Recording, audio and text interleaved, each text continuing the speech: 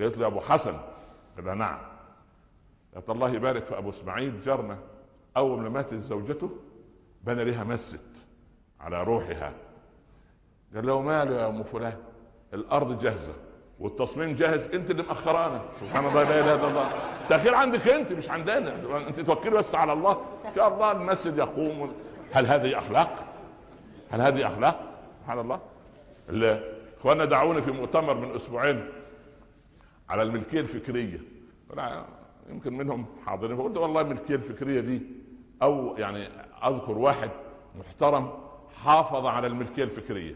بس إيه؟ بعد أن مات. وهو ينازع. زوجته محبة له ماسكه يد ابو فلان الله يعطيه الصحة ويبارك لنا فيه.